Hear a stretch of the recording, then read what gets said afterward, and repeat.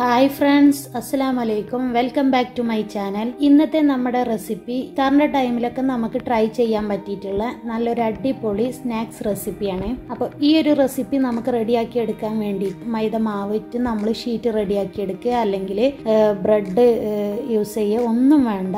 അപ്പോൾ ഇതിന്റെ അകത്ത് നമ്മൾ നല്ലൊരു സ്പൈസി ഫില്ലിങ്ങോട് കൂടിയിട്ടുള്ള ഒരു സ്നാക്സ് ആണിത്. അപ്പം നിങ്ങളെല്ലാവരും ഇതൊന്ന് ട്രൈ ചെയ്ത് നോക്കുക. തീർച്ചയായിട്ടും നിങ്ങൾക്ക് ഇഷ്ടമാവും നിങ്ങൾക്ക് ഇഷ്ടമായാൽ നിങ്ങൾ വീഡിയോ ലൈക്ക് ചെയ്യുക ഷെയർ ചെയ്യുക കമന്റ് ചെയ്യുക. അപ്പോൾ നമുക്ക് വീഡിയോ ഒന്ന് കണ്ടു നോക്കാം. അപ്പോൾ ഈ ഒരു സ്നാക്സ് റെഡിയാക്കി എടുക്കാനായിട്ട് നമുക്ക് ഫസ്റ്റ് ആയിട്ട് അതിനകത്തേക്കുള്ള ഫില്ലിങ്സ് റെഡിയാക്കി എടുക്കാം. അതിനായിട്ട് ഞാനിവിടെ ഒരു പാൻ വെച്ച് കുറച്ച് വെളിച്ചെണ്ണ ഒഴിച്ചു കൊടുത്തിട്ടുണ്ട്. അപ്പോൾ എണ്ണ ചൂടായി വരുന്ന സമയത്ത് നമുക്കിതിലേക്ക് ഇഞ്ചി വെളുത്തുള്ളി പേസ്റ്റ് ചേർത്ത് കൊടുക്കാം. ഇഞ്ചിയുടെയും വെളുത്തുള്ളിന്റെയൊക്കെ നല്ല പച്ചമണം പോകുന്നത് വരേക്കും നമുക്കിതൊന്ന് വയറ്റിയെടുക്കണം. അപ്പം ഈ ഒരു സമയത്ത് നമുക്കിതിലേക്ക് രണ്ട് സവോള ചെറുതായി കട്ട് ചെയ്തെടുത്തിട്ടുള്ളതാണ്. അതും കൂടെ ഇതിലേക്ക് ചേർത്തെടുത്തിട്ട് നമുക്കൊന്ന് ഇളക്കിയെടുക്കാം.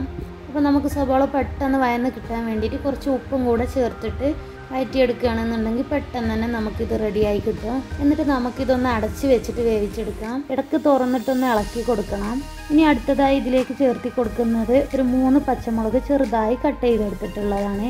അതിന്റെ കൂടെ തന്നെ നമുക്ക് കറിവേപ്പില ചെറുതായി കട്ട് ചെയ്തിട്ട് കൊടുക്കാം. അതിന്റെ കൂടെ തന്നെ ചപ്പിന്റെ ഇലയും ചെറുതായി കട്ട് ചെയ്തത് ചേർത്തിട്ട് നല്ലോണം ഒന്ന് ഇളക്കി കൊടുക്കാം. ഈ ഒരു സമയത്ത് നമുക്ക് ഇതിലേക്ക് ആവശ്യമായിട്ടുള്ള പൊടികളെല്ലാം ചേർത്തി കൊടുക്കാം. അപ്പം ഞാനിവിടെ ഒരു അര ടീസ്പൂൺ മഞ്ഞൾപ്പൊടി ചേർത്തി കൊടുത്തിട്ടുണ്ട്.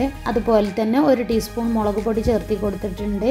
അതിന്റെ കൂടെ തന്നെ ഒരു ടീസ്പൂൺ മല്ലിപ്പൊടിയും ചേർത്തി കൊടുത്തിട്ടുണ്ട്. ഇനി ഈ പൊടികളുടെ പച്ചമണം പോകുന്നത് വരേക്കും നമുക്കിതൊന്ന് വഴറ്റിയെടുക്കാം അപ്പം ഞാനിതൊന്ന് അടച്ചു വെച്ചിട്ട് വേവിച്ചെടുക്കുന്നുണ്ട്. ഇനി അടുത്തതായി നമുക്ക് ഇതിലേക്ക് ചേർത്തി കൊടുക്കേണ്ടത് ചിക്കനാണ്. നിങ്ങൾക്ക് ചിക്കനോ ബീഫോ എന്താണോ ഇഷ്ടമുള്ളത് അത് യൂസ് ചെയ്യാം. ഞാനിപ്പോൾ ഇവിടെ ചിക്കനാണ് ചേർത്തി കൊടുക്കുന്നത്. ഇത് മഞ്ഞൾപ്പൊടിയും ഉപ്പും കുരുമുളക് പൊടിയും ചേർത്ത് വേവിച്ചെടുത്തിട്ടുള്ളതാണ്.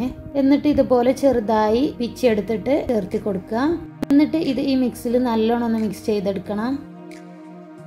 ഇതിപ്പോൾ ഇവിടെ റെഡി ആയിട്ടുണ്ട്. ഇനി നമുക്ക് തീ ഓഫ് ചെയ്യാം അടച്ചു വെക്കാം. ഇനി നമുക്ക് ഈ ഒരു സ്നാക്സ് റെഡിയാക്കി എടുക്കാൻ വേണ്ടിയിട്ട് കുറച്ച് ഉരുളക്കിഴങ്ങ് ഞാൻ പുഴുങ്ങി എടുത്തിട്ടുണ്ട്. അത് ഉപ്പ് മാത്രം എടുത്ത് പുഴുങ്ങി എടുത്തിട്ട് ചൂടൊക്കെ പോയതിനു ശേഷം നല്ലോണം ഉടച്ചെടുത്തിട്ടുള്ളതാണ്. ഇതിലേക്ക് നമുക്ക് ഒരു ടീസ്പൂൺ റെഡ് ചില്ലി ക്രഷ് ചെയ്തതും ചെറുതായി അരിഞ്ഞെടുത്തിട്ടുള്ള ചപ്പിന്റെ ഇലയും കൂടെ ചേർത്തി കൊടുക്കാം. എന്നിട്ട് നമുക്ക് കൈ കൊണ്ട് നല്ലോണം ഒന്ന് കുഴച്ചെടുക്കണം. ഇടയ്ക്ക് നമുക്ക് ഇതുപോലെ കുറച്ച് വെളിച്ചെണ്ണ എടുത്തിട്ട് അതും കൂടെ ചേർത്തിട്ട് വേണം കുഴച്ചെടുക്കാനായിട്ട്. അപ്പം നമ്മളിത് റോളാക്കി എടുക്കുന്ന സമയത്ത് നമ്മുടെ കയ്യിലൊന്നും ഒട്ടിപ്പിടിക്കാതിരിക്കാൻ വേണ്ടിയിട്ടാണ് നമ്മൾ അങ്ങനെ ചെയ്യുന്നത്. ഇനി നമുക്ക് ഇതിലേക്ക് മുട്ടയുടെ ആവശ്യമുണ്ട്. അപ്പം ഞാൻ രണ്ട് മുട്ട പൊട്ടിച്ച് ഉപ്പിട്ട് ബീറ്റ് ചെയ്തെടുത്തിട്ടുണ്ട്. ഇനി അതുപോലെ തന്നെ വേറൊരു പാത്രത്തിൽ കുറച്ച് മൈദപ്പൊടി എടുത്തിട്ടുണ്ട്. ഇനി നമുക്ക് ബ്രെഡ് ക്രംസിൽ കോട്ട് ചെയ്തെടുക്കേണ്ട ആവശ്യമുണ്ട്. അപ്പോൾ കുറച്ച് ബ്രെഡ് ക്രംസ് എടുത്ത് വെച്ചിട്ടുണ്ട്. ഇനി നമുക്ക് നമ്മുടെ സ്നാക്സ് റെഡിയാക്കി എടുക്കാം. അതിനായിട്ട് നമ്മുടെ കയ്യിൽ കുറച്ച് വെളിച്ചെണ്ണ ഇതുപോലെ ആക്കി കൊടുത്തിട്ട് നമുക്ക് ഇതിൽ നിന്നും നമ്മൾ റെഡിയാക്കി വെച്ചിട്ടുള്ള ഈ ഒരു ഉരുളക്കിഴങ്ങിന്റെ മിക്സിയിൽ നിന്നും കുറച്ചെടുത്തിട്ട്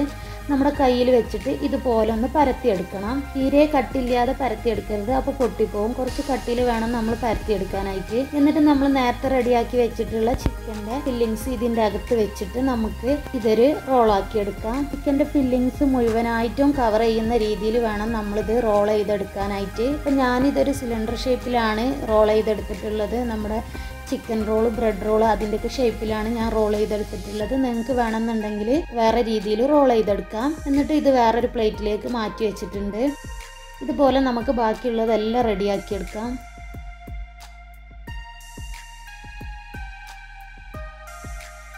ഇതുപോലെ ഞാൻ ബാക്കിയുള്ളതെല്ലാം ഷേപ്പ് ചെയ്തെടുത്തിട്ടുണ്ട്. ഇനി നമുക്ക് ഓരോ റോൾസും ഫസ്റ്റ് നമുക്ക് മൈദ മൈദയുടെ പൊടിയിൽ മുക്കിയിട്ടെടുക്കണം. നമ്മൾ ഓയിലിൽ ഫ്രൈ ചെയ്തെടുക്കുന്ന സമയത്ത് പൊട്ടിപ്പോവാതിരിക്കാൻ വേണ്ടിയിട്ടാണ് നമ്മളിങ്ങനെ ചെയ്യുന്നത്. എന്നിട്ട് നമുക്ക് ഈ അടിച്ചു വെച്ച മുട്ടയിൽ മുക്കിയെടുത്തിട്ട് ബ്രെഡ് ക്രംസിൽ കോട്ട് ചെയ്തെടുക്കാം. ബ്രെഡ് ക്രംസ് ഉണ്ടാക്കുന്ന വീഡിയോ ഞാൻ കുറച്ച് മുന്നേ അപ്ലോഡ് ചെയ്തിട്ടുണ്ടായിരുന്നേ. അപ്പോൾ അത് അറിയാത്തവർക്ക് ആ വീഡിയോ കാണാത്തവർക്ക് ആ വീഡിയോ വേണമെന്നുണ്ടെങ്കിൽ ഒന്ന് കണ്ടു നോക്കാം. ഇതുപോലെ നമ്മൾ ഓരോ റോളും മൈദപ്പൊടിയിൽ മുക്കിയിട്ട് എടുക്കുക. എന്നിട്ട് മുട്ടയിൽ മുക്കിയെടുത്തിട്ട് ബ്രെഡ് ക്രംസിൽ കോട്ട് ചെയ്തെടുക്കുക. ഇതുപോലെ നമുക്ക് ബാക്കിയുള്ള എല്ലാ റോൾസും റെഡിയാക്കി എടുക്കാം. ബ്രെഡ് ക്രംസിൽ നമ്മൾ കോട്ട് ചെയ്തെടുക്കുന്ന സമയത്ത് നമുക്കിത് ഒന്നുകൂടെ ഷേപ്പ് ചെയ്തെടുക്കാനായിട്ട് പറ്റും. എന്നിട്ട് ഞാൻ ഓരോ റോൾസും വേറൊരു പാത്രത്തിലേക്ക് മാറ്റി വെക്കുകയാണ്. അപ്പം നമ്മൾ ഇതുപോലെ ബ്രെഡ് ക്രംസ് ഇട്ട് കൊടുത്തിട്ട് അതിൽ വെച്ചുകൊടുക്കുകയാണെന്നുണ്ടെങ്കിൽ ഇത് അതിലൊന്നും ഒട്ടിപ്പിടിക്കാതെ നമുക്ക് കുറച്ച് സമയം ഇങ്ങനെ മാറ്റി വെക്കാനായിട്ട് പറ്റും. അപ്പം നമുക്ക് ബാക്കിയുള്ള എല്ലാ റോൾസും ഇതുപോലെ മുട്ടയിൽ മൈദ മുക്കിയിട്ട് മുട്ടയിൽ ഡിപ്പ് ചെയ്ത് എടുത്തിട്ട് ബ്രെഡ് ക്രംസ് കോട്ട് ചെയ്തിട്ട് എടുക്കാം.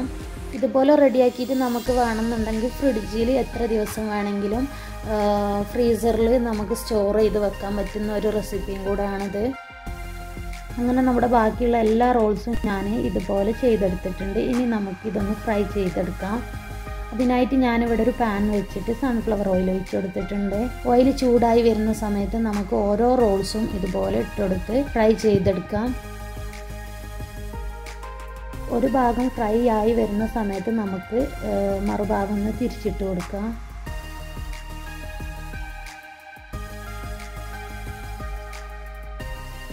പെട്ടെന്ന് തന്നെ ഫ്രൈ ആയിട്ട് കിട്ടും. ബ്രെഡ് ക്രംസ് ആയതുകൊണ്ട് തന്നെ പെട്ടെന്ന് ഫ്രൈ ആയിട്ട് കിട്ടും. അപ്പോൾ ഇതിവിടെ റെഡി ആയിട്ടുണ്ട്. ഇനി നമുക്കിത് എണ്ണയിൽ നിന്നും കോരിയെടുക്കാം. ഇതുപോലെ തന്നെ ബാക്കിയുള്ളത് നമുക്ക് ഫ്രൈ ചെയ്തെടുക്കാം. അപ്പം നമ്മുടെ ഇന്നത്തെ ഇഫ്താർ സ്നാക്സ് ഇവിടെ റെഡി ആയിട്ടുണ്ട്. അപ്പോൾ ഇന്നത്തെ ഈ ഒരു സ്നാക്സ് നിങ്ങൾക്ക് കണ്ടാൽ തന്നെ അറിയാം. പുറം ഭാഗം നല്ല ക്രിസ്പി ആയിട്ടാണ് ഇരിക്കുന്നത്. പക്ഷേ ഇതിന്റെ അകത്ത് നല്ല സോഫ്റ്റുമാണ് ഞാൻ കാണിച്ചു തരാം